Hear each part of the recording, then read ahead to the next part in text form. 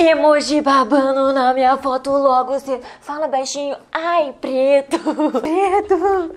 Ai, preto. Ai, preto. Uh.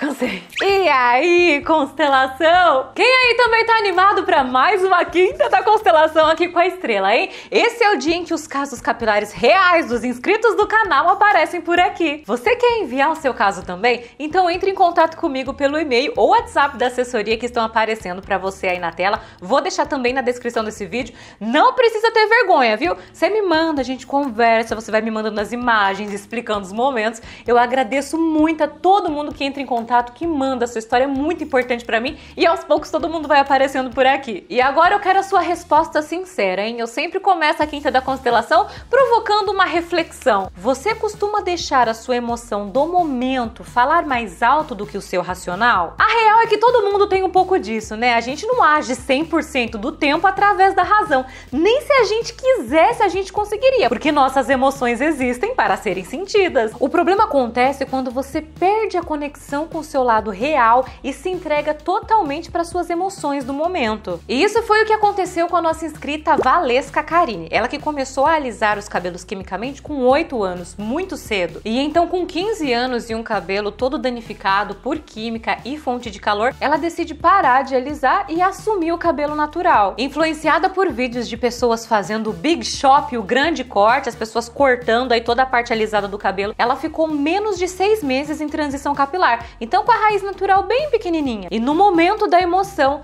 também decidiu cortar todo o seu cabelo, toda a parte alisada. E o que pode ser uma libertação para alguns foi um pesadelo para ela. Ela não estava preparada para este momento, ficou com a autoestima destruída e ainda arrumou um problemão com a mãe, que não estava de acordo e não sabia desse corte. E não para por aí, constelação, porque depois do grande corte, a Valesca continuou tomando algumas decisões capilares precipitadas. Então é um caso com muito alerta e serve para todo mundo, viu? Não só para quem está em transição capilar. Vem mais essa aventura capilar comigo, não esquece de deixar seu like nesse momento. Um segundinho que você para aí para deixar o seu like ajuda demais o seu canal a continuar e se você ainda não faz parte da constelação, primeiro que eu não acredito nisso. Como assim você ainda não tá aqui com a gente? Ah, eu não posso acreditar. Inscreva-se, chacoalhe o sininho aí, ative as notificações. Amanhã teremos vídeo novo também, tá? Já quero informar aqui para vocês que vem aí sextando no Estrelando, se prepara. Ó, oh, quero te ver também nas minhas redes sociais, hein? Instagram, TikTok, muita interação, muito conteúdo exclusivo.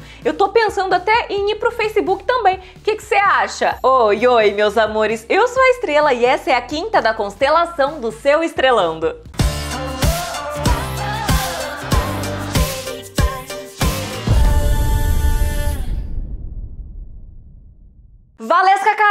É o nome dela. Ela vem de Manaus. Um grande beijo estrelado para Manaus. Um dos primeiros casos de Manaus, viu? Muito obrigada a todo mundo de Manaus que me acompanha. A Valesca tem 17 aninhos, gente. Está prestes a completar 18 anos. Então o conteúdo aqui foi autorizado pela mãe. 17 anos de muito babado capilar. Vamos ver. Olha a baby estilosa, pega a visão. O cabelo natural da Valesca é cacheado, um 3B. E pequenininha assim, os cachinhos se formavam sem dificuldade, bem definidinhos, não davam trabalho aí para a família, para quem cuidava dela. Porque até os 10 anos, meus amores, ela morou com o pai e a avó. E conforme o cabelo foi crescendo, foi ficando cada vez mais cheio, mais volumoso. E a família começa a ter dificuldade para ajeitar, não sabiam como fazer fazer. E então a maior parte do tempo ela ficava assim com o cabelo amarrado ou trançado. O cabelo dela nessa foto tá no modo clássico aqui de pentear um cabelo com curvatura como se fosse liso, né? Só penteou ali, espera secar e vum, um volumoso, né? Um liso armado que a turma fala. Quem mais já passou por isso aí? Levanta a mão. E aí ela passa a detestar o cabelo. Além de ninguém ter paciência de cuidar, ela também já recebia muitos comentários maldosos na própria família. Então ela queria muito alisar. O sonho dela era ter os cabelos lisos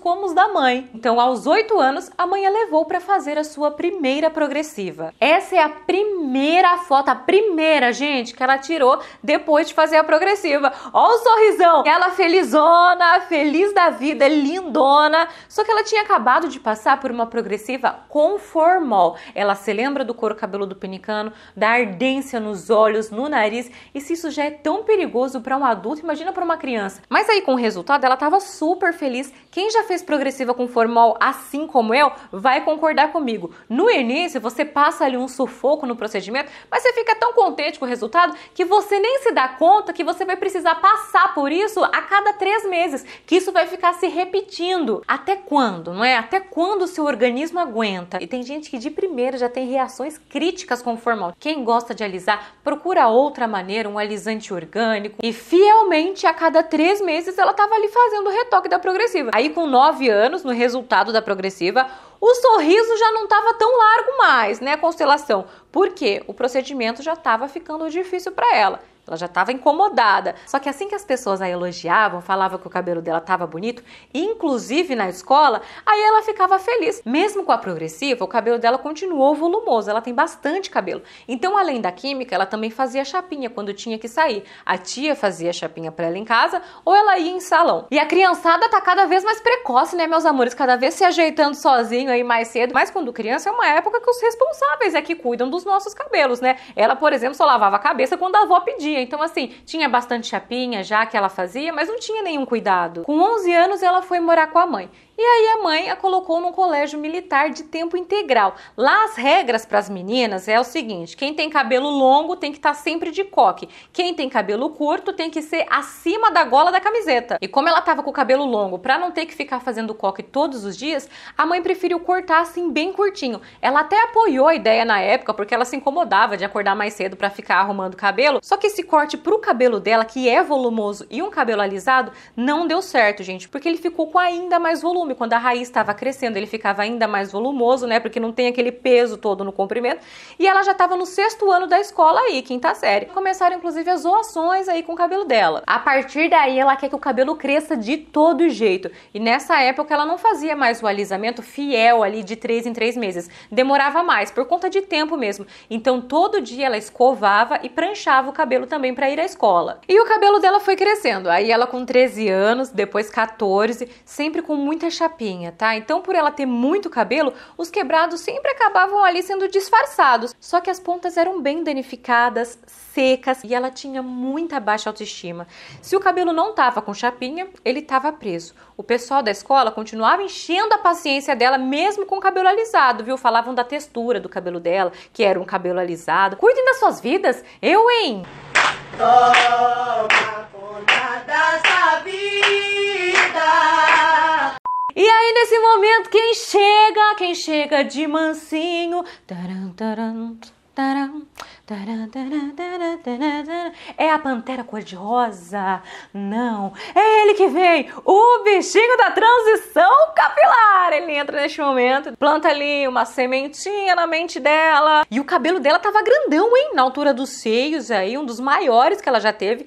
Essa aqui é uma foto do último alisamento que ela fez, no meio de 2019. Só que ela não se sentia bem mais, ela não se identificava com esse cabelo. A textura do cabelo não a agradava. Ela queria que fosse um cabelo com um aspecto mais natural, que ela não conseguia. Ainda não tinha cuidados capilares também nessa época. E ela não aguentava mais o processo para alisar o cabelo, ainda com progressiva com formal.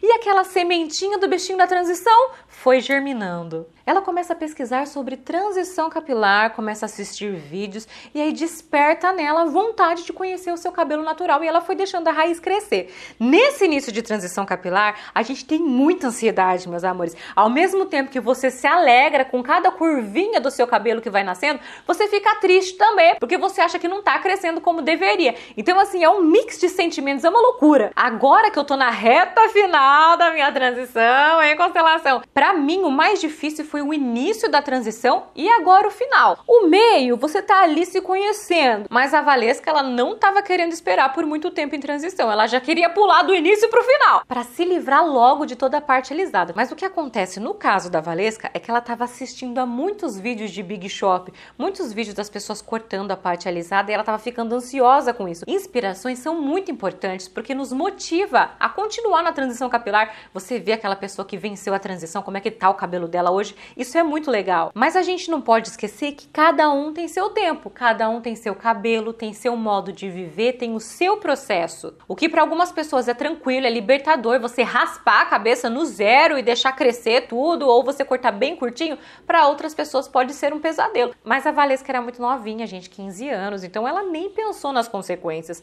Ela só queria que aquilo acabasse logo, ela também não era tão apegada a comprimento, ela queria que saísse aquele cabelo estragado. E olhando aqui a raiz, ela acreditava que o cabelo ficaria num tamanho legal, só que ela esqueceu do fator encolhimento. Essa foto é do seu aniversário de 15 anos, dezembro de 2019. A última foto dela com o cabelo escovado com o cabelo antigo. Aí ela pediu pra tia levar no salão de cabeleireiro para fazer o Big Shop. Ganhou de aniversário da tia, hein? O grande corte. A mãe da Valesca, ela não gosta de cabelo muito curto. Então ela sabia que a Valesca ia ao salão, mas ela não sabia da real intenção da filha. E lá estava ela no salão, meus amores. Trezentão, trezentos reais a tia pagou no corte. Chegou o momento do Big Shop, ela super ansiosa, nervosa. Que momento, meus amores! Aí a cabeleireira conversou com ela e explicou que ficaria bem curtinho. Só que no momento da emoção e da ansiedade, ela não quis nem saber, ela só falou corta. Então a cabeleireira tá protegida aí pela lei Maria do Corte, né? Então ela começou. Hum, mas que carinha triste é essa aqui? Enquanto a cabeleireira corta. Olhem como é que tava ficando, meus amores. Então cortou todo o cabelo, tava fazendo o pezinho com a máquina, fez as laterais com a máquina também. E nesse momento a Valesca já estava arrependida. No mesmo momento em que ela viu como é que o cabelo dela estava ficando, assim, com o pixie, ela odiou, gente.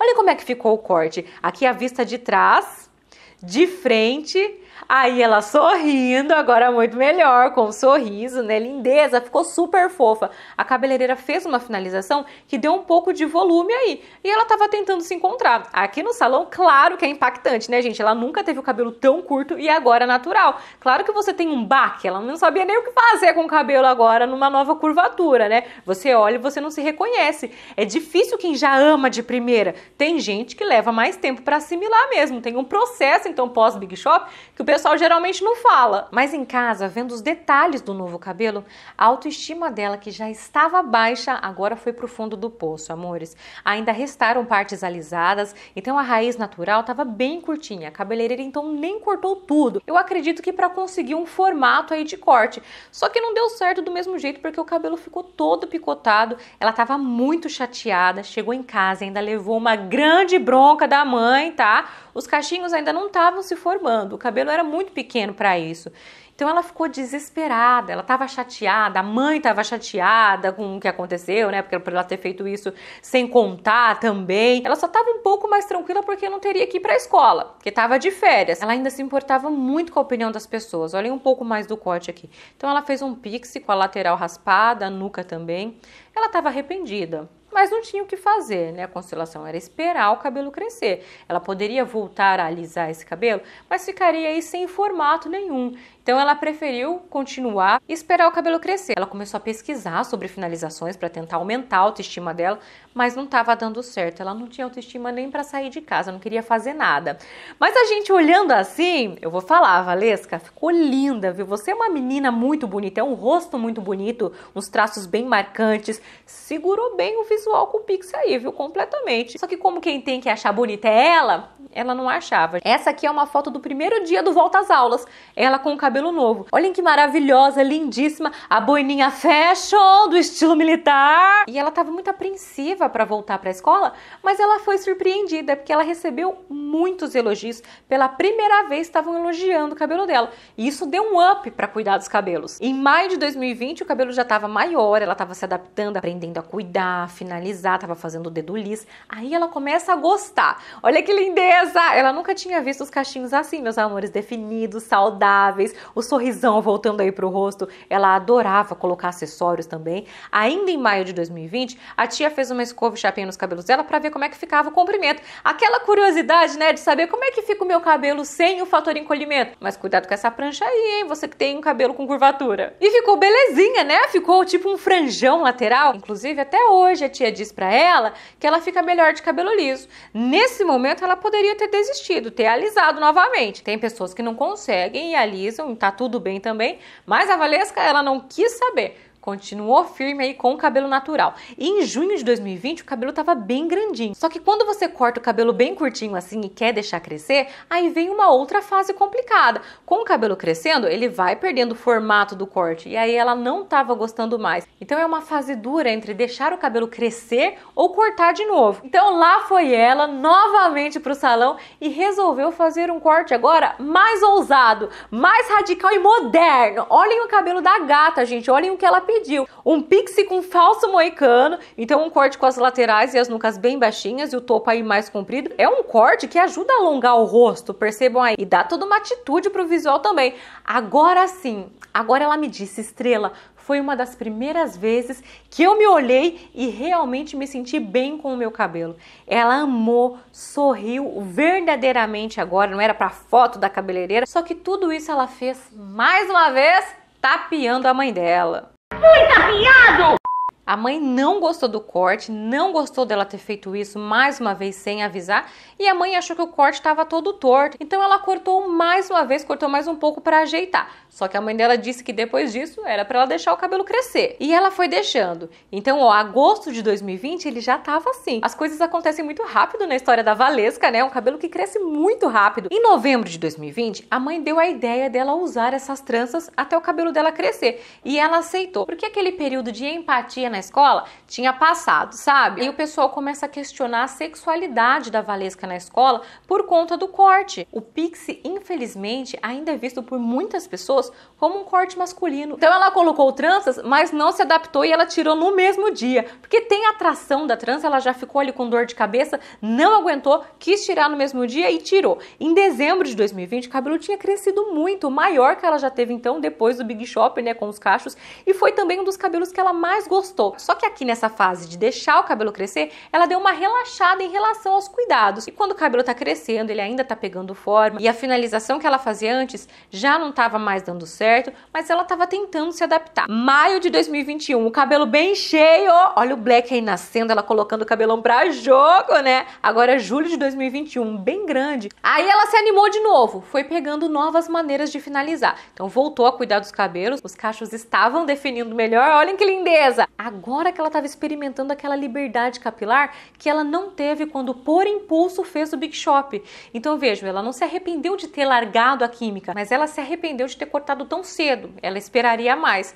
E aí ela estava super apegada aos cachos, estava recebendo muitos elogios novamente, mas infelizmente, é, meus amores, tem um infelizmente. Esse ainda não é o nosso final feliz. Tem mais. Não esquece de já deixar o like, continua comigo. Em julho do ano passado, ela deu uma paradinha nas pontas, porque lembram que eu contei para vocês que quando o cabelo é curto na escola militar, ele tem que estar tá acima da gola da camiseta. Então, olhem que coisa, para ela deixar o cabelo crescer, vai ter que ser sempre preso. Só que com o curto, ela tinha que definir e arrumar o cabelo todo dia cedo antes de ir para a escola. Então, essa rotina estava se tornando cansativa para ela. Olhem em setembro do ano passado como é que ela estava usando o cabelo jogado para o lado para tirar a franja dos olhos. E nisso ela estava com vontade de cortar o cabelo de novo para praticidade. Olhem o comprimento do cabelo dela no final do ano passado tá? Então ela encontrou essa inspiração no Google, um cabelo com uma curvatura próxima da dela, um estilo parecido com o que ela já usou, inclusive. E agora, como ela já tá com um cabelo maior, um cabelo mais cheio, ela conseguiria esse volume aqui mais no topo da cabeça, juntando com a finalização. Então ela foi até o salão,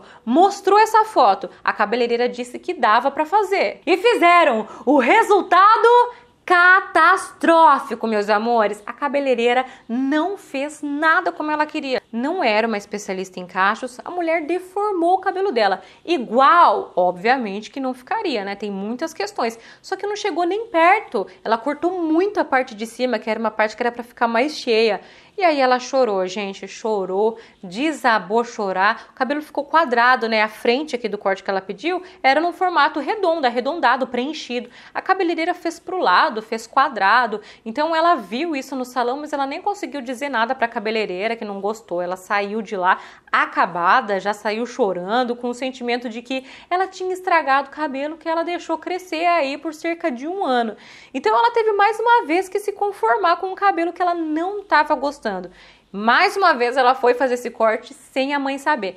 Só que aí nesse momento, acho que a mãe já tinha sido vencida pelo cansaço, né, Valesca? A Valesca tava maior, a mãe percebeu que ela tava bem chateada, ela tava chorando muito. E mais uma vez, deixa o cabelo crescer. Outubro de 2021, Agora, novembro, linda demais. Nossa, cresce muito rápido esse cabelo, gente. Abençoa, Senhor, os cabelos, amém. Dezembro, olha como é que tava. Aí você pensa, Agora ela deixou o cabelo como tá. Você que assiste Estrelando, escuta a estrela falando assim, você já sabe que não parou por aí. Vem coisa porque ela decidiu cortar o cabelo novamente. Só que dessa vez, para não ter erro, ela pensou o quê? Eu vou voltar na cabeleireira que fez aquele corte pixie lá do falso moicano, que deu certo, que eu amei, e faço o mesmo corte. Já fez uma vez, não teria erro, né? Teve. Dessa vez, a mesma cabeleireira que anteriormente acertou, errou, gente ficou muito marcado, raspada das laterais e da nuca, ela não gostou, não ficou como da primeira vez e lá foi ela se acabar de chorar novamente. Ela se sentiu horrível, ela não conseguia se sentir feminina. Esse é um sentimento dela, tá, meus amores? Não falando do corte de cabelo, mas ela não estava conseguindo se reconhecer. Ela tentou complementar o visual com maquiagem, com acessórios, mas não deu. Ela não combinava mais com esse visual. Então, a partir daí, ela decidiu que não ia mais fazer esse tipo de corte. E com isso, continuando com os cuidados e firme no projeto Rapunzel, é assim que está o cabelo dela atualmente, no processo, crescendo novamente, mas ela já tá há mais de seis meses sem cortar. Então tá firme aí, viu? Cuidando a meta dela não é um cabelo enorme, mas é um cabelo abaixo dos ombros. Que com esse crescimento capilar que você tem, Valesca, vem cá, vamos conversar. Você piscou, já vai estar tá no pé. E constelação é incrível como junto com a transição capilar, a gente também viu a transição de uma menininha para uma jovem adulta, não é? Valesca, olhando essa sua foto atual, sem dúvidas, você está na sua melhor fase. Eu sinto um sorriso sincero, uma luz que transmite pra gente. Que bom te ver assim no final dessa etapa da sua história, né? Dessa primeira fase aí. Eu fico muito feliz também por você ter se encontrado. Foi duro, né? Não foi como você queria aí, mas foi um aprendizado. Um aprendizado na adolescência. Agora, logo, logo você completa os seus 18 anos, entra na sua fase adulta aproveitando o máximo do seu novo cabelo. E agora, com mais consciência, eu te desejo tudo tudo de bom na sua caminhada, que você continue sendo essa menina educada que você é, muito simpático, adorei te conhecer. Um, grande beijo estrelado no seu coração. Muito obrigada por você ter compartilhado a sua história e ter sido um grande exemplo pra gente de que viver em função das emoções momentâneas, num primeiro momento, parece ser mais legal, ser mais prazeroso, mas é uma situação que não se sustenta a longo prazo, já que você não consegue alcançar objetivos de longo prazo. Porque se tudo que você quer, você quer para ontem, como é que você vai chegar no futuro? Aqui no caso dela a gente viu sobre transição capilar, mas isso serve para todo objetivo e também para as outras questões da nossa vida. E essa foi a nossa quinta da constelação de hoje, meus amores, mais uma super quinta para vocês, né? Uma quintona. Espero muito que você tenha gostado e quem gostou faz barulho. Eu quero ouvir o barulho do like, o barulho da sua inscrição, do sininho aí chacoalhado e ativado. E aí, você se identificou com um caso, com alguma parte do caso? Deixa aí seus comentários, seus comentários pra Valesca também. Te espero também nas minhas redes sociais. Inclusive, depois que a gente papear aqui nos comentários, eu vou responder a caixinha de perguntas que eu deixei pra vocês lá, porque eu amo interagir. Mua, beijo estrelado no seu coração. Fica com Deus e até a próxima, meus amores. Tchau, tchau!